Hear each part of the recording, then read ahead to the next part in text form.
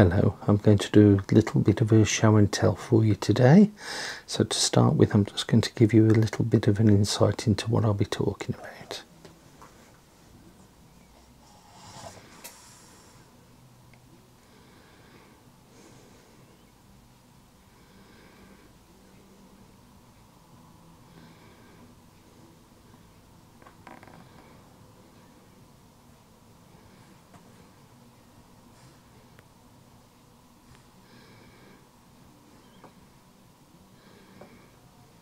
Hello, for this show and tell, I'm going to go through a few items that I've got that I've not done any videos with properly as yet.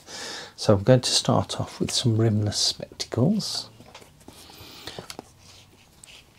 I've got a few pairs of rimless to show you.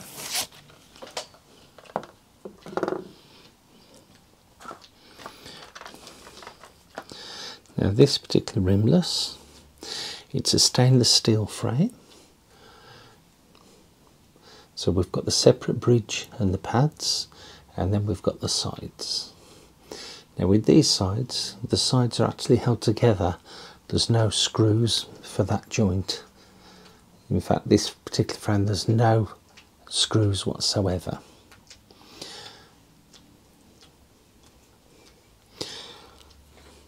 When it's when it goes on,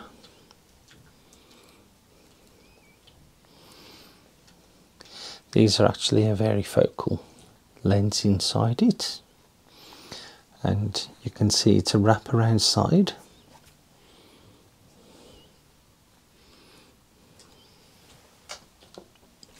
This particular one is in just a standard closed frame.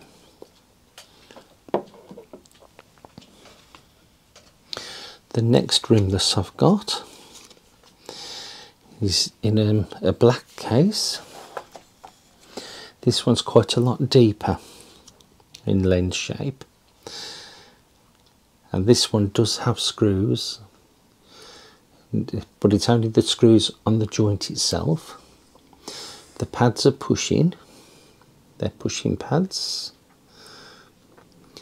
And it's got separate bridge to sides and where it joins onto the lens it's got two holes for each part and they're plugs silicon plugs that hold them in together. And again you can see the the way it works.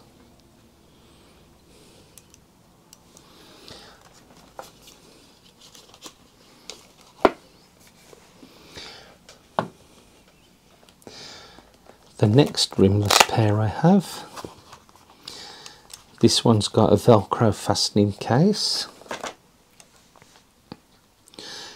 This one again is plugs, pushing pads, and it does have one screw on each joint. It's a little bit um, flatter side and a little bit a bit more body to the side. It's fastened in exactly the same way in fact very similar in shape for the lenses.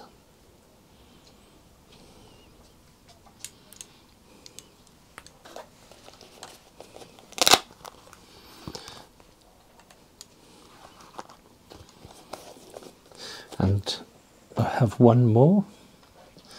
Now this one's a little bit different in shape. It's a flat base and the lenses uh, the frame sits in in the top which is quite deep. It's a un very unusual shape.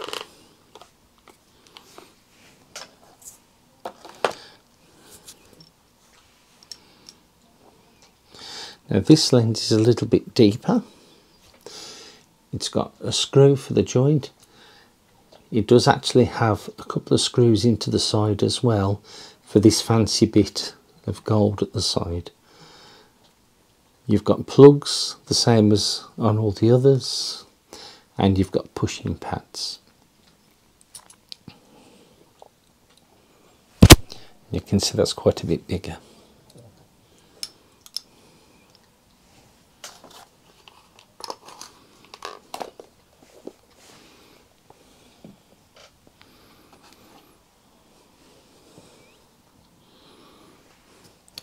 Right, my next subject is the tuning forks.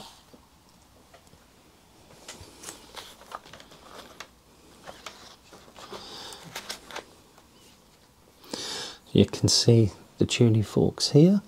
They are actually numbered and lettered. I'll go into that with more detail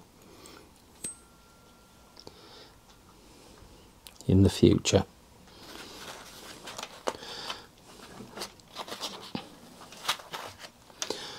This one, the first one was 2048C, this one's 124C. You'll see that's a slightly higher pitch.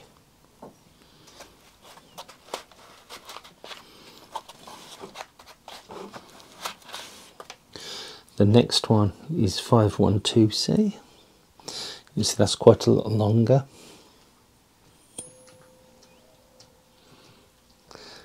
That one is a much lower pitch.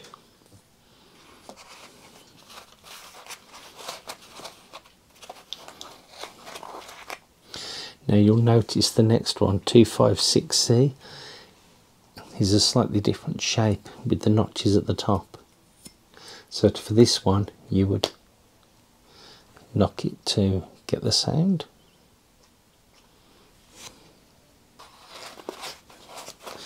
And finally, for the next one, this one is 128C.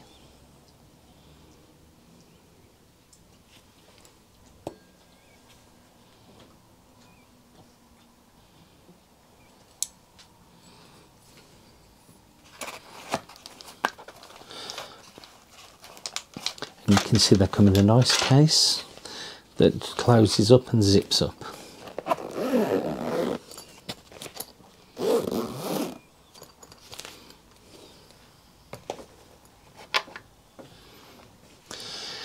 Now I've got something a little bit different.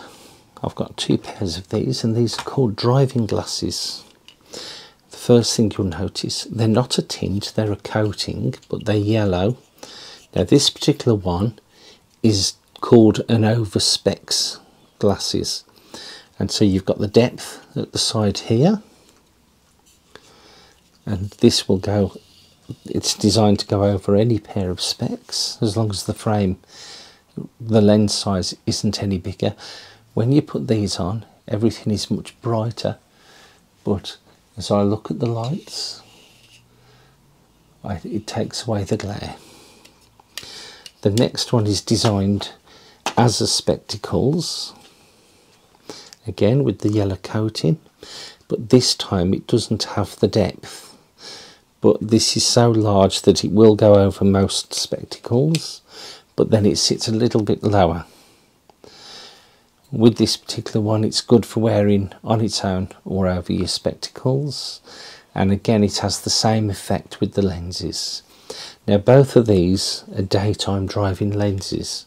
They take away enough of the light that um, it would be an offence to use them for driving at night, but you can get night driving glasses as well, where it's yellow coating like them but it's a much lighter yellow coating.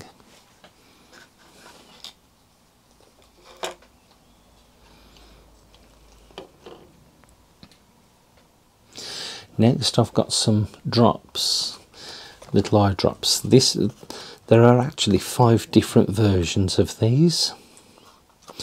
Um, evolve every day. This is good for um, general use it gives effective relief from dry eyes, contact lens friendly, and you can use it for up to three months once you've opened it. Very, very easy to use.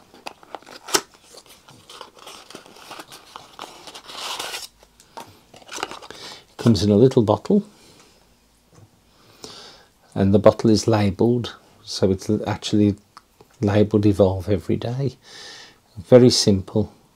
You undo the cap, hold the bottle over your eye, tip your head back. If you shut one, if you shut the opposite eye, bring this so that the tip is opposite in front of your pupil, and then when you open both eyes, look up and squeeze the bottle. One drop will come out, and that will go into your eye, and it shouldn't have any wastage at all then.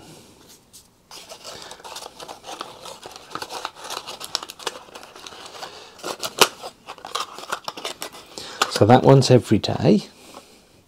The next one is to soothe and renew. So if you get really itchy eyes or anything like that, again, contact lens friendly. They're long lasting relief and they can be used for up to three months after opening. Um, really simple. They are colour coded. So these are for itchy eyes. So again, comes in the same type of bottle but this time it's got a different colour label and again it's also um, telling you on the bottle that it's Evolve Soothe and Relief.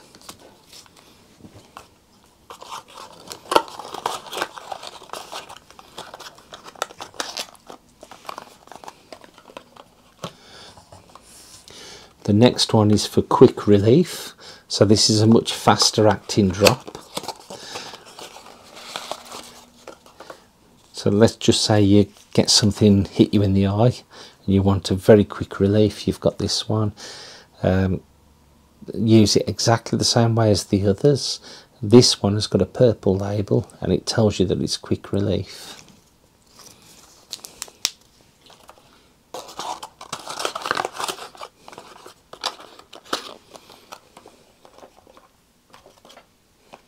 The next one is the dry eye maximum strength. So if you get severely dry eyes, you'd use this.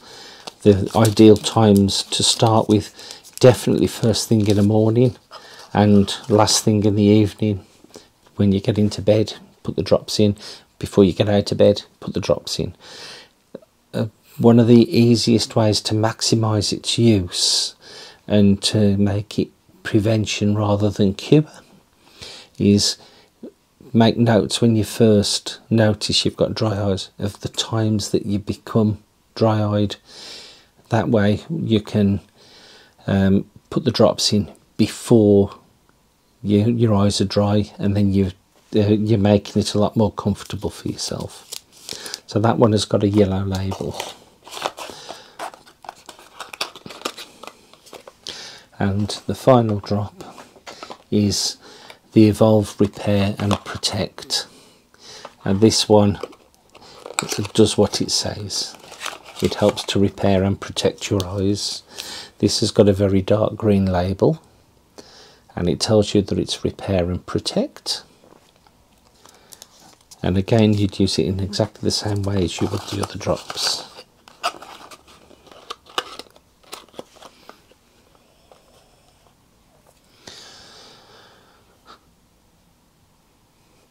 Next I've got a little, nice little treat for you.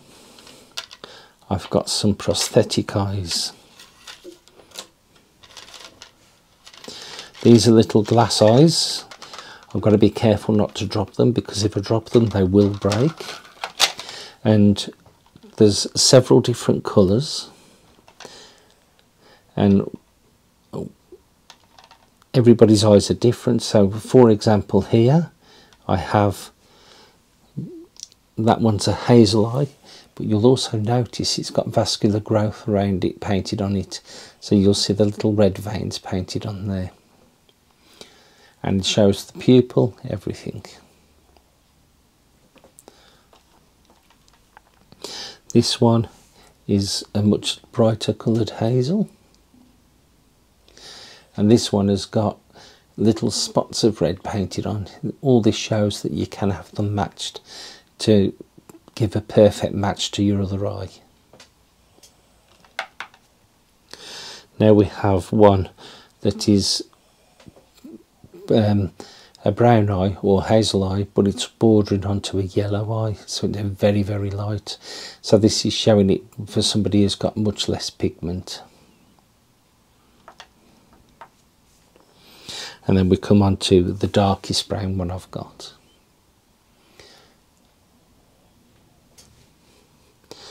Now going on to another colour. I've got grey lenses. So this one, this one is very grey. It's quite dark. And again, it's got quite a bit of vascular growth painted on around the eye.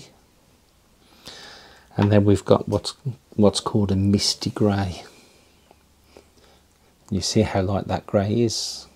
You can actually buy contact lenses in that colour.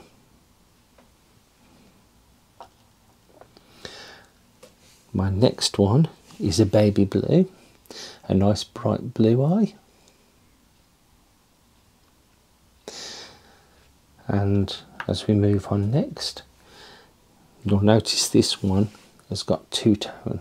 It's got like a very light green in the middle, then a darker green, or almost turquoise on the outside edges.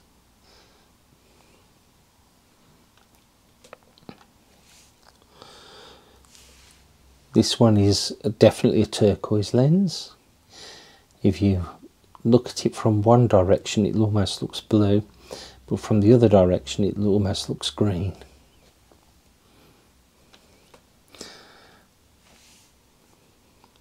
And this one is a very, very light green eye.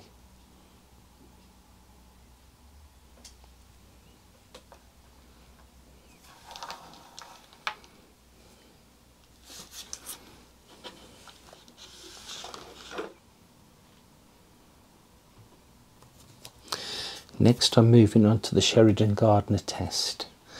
Now this is unique for people who don't know their letters, they can point to what they see. So I can hold up this card, which you'll see is clear, and with this one, I can actually see what letter is being pointed to. So if they say, if they point to the out, I'm actually seeing it without having to look around. So they want the T, the H, the V, etc.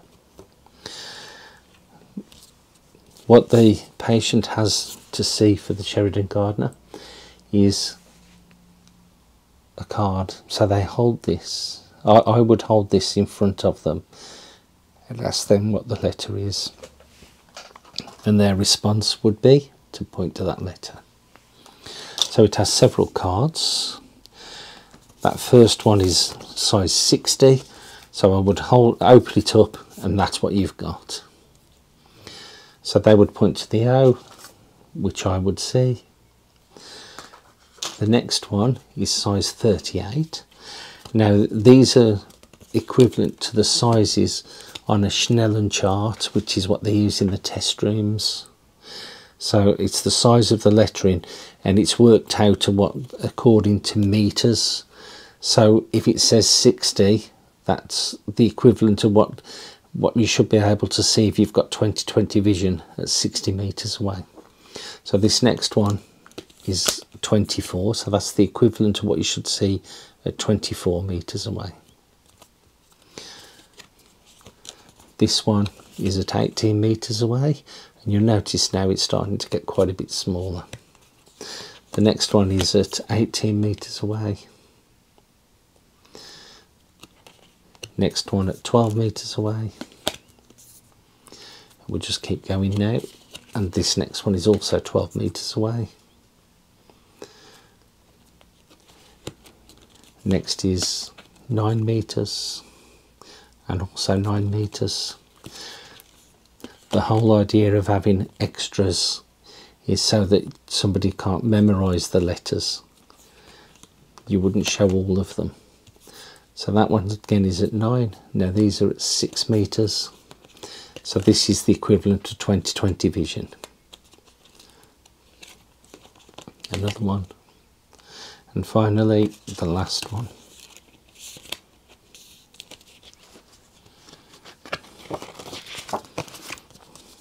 So that would be your distance letters. This next one is showing the letters at different sizes but also it shows it with contrast as well. So starting with this one, this will be your reading distance so you can see TVO and so on as you go down but you'll notice the letters get fainter and fainter. And if we go on to the other side, it has fewer of the lettering. But again as you get down the bottom they're very very faint.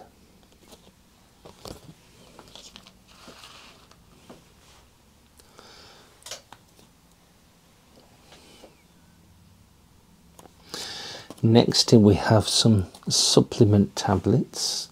These are called Vitro, Vitro caps.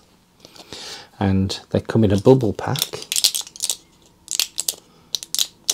And you'd remove the tablets as and when you wanted them. You can see that they're a funny colour. Now with Vitro cap, the Vitro caps uh, are designed to supplement your diet to help your eyes um, for specific micronutrients. Their main components are as follows.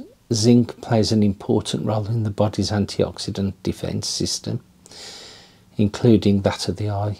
It contributes to the maintenance of normal vision and supports the metabolism of vitamin A. Another nutrient that supports normal vision. Vitamin C contributes to normal collagen formation in the body, supporting normal function of the skin and gums. Vitamin C, along with the zinc, helps protect cells from antioxidants, stress.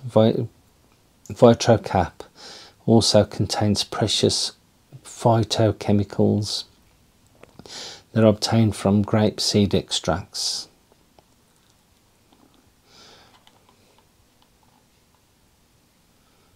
They're an essential amino acid which the human body cannot produce by itself. One of the tests that this helps with when looking at the when you look at this chart there are different shapes. And on these different shapes you'll see that there's a number next to them. When you're looking at these they're for your contrast. If you see anything from 7 to 10, that's good. If you're able to see the shapes from 4 to 6, that's average. And from 1 to 3, that's bad, if that's all you can see. So number 1 is a triangle, number 2 is a square, number 3 is a cross, uh, and so on. So if I went up to number 7, I can see that that's a square and number 8 is a triangle so straight away we know that my vision for contrast is good. We also have an Amsler grid test. Now the Amsler grid test is designed with near vision in mind and what happens is you cover one eye and you look at the grid and what you're looking for you, you're staring at the center spot and as you're staring at the centre spot, all of the lines should be straight and the squares should be properly squares. Um, no breakup, no holes on the grid. And if that's fine, you then check the other eye. And again, you're looking at it exactly the same way. If you find that you've got distorted lines or any parts of the grid is missing, you then report that immediately to your GP or to your optometrist if you can get hold of them straight away. Very urgent that you get it sorted straight away.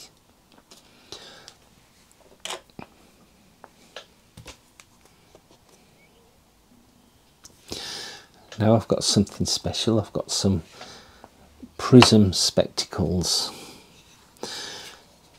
With these, as you look at them now, as I hold them that way, all you see is the spectacle frame, but you see little triangles or little rectangles sitting down. As I lift the specs up in order to put them on, so if I take my normal specs off and put these on,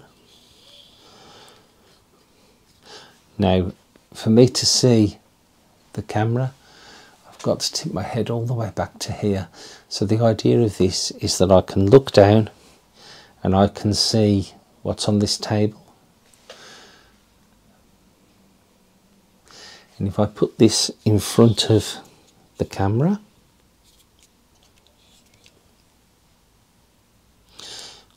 you can see that it's looking down. I can see my hand on the table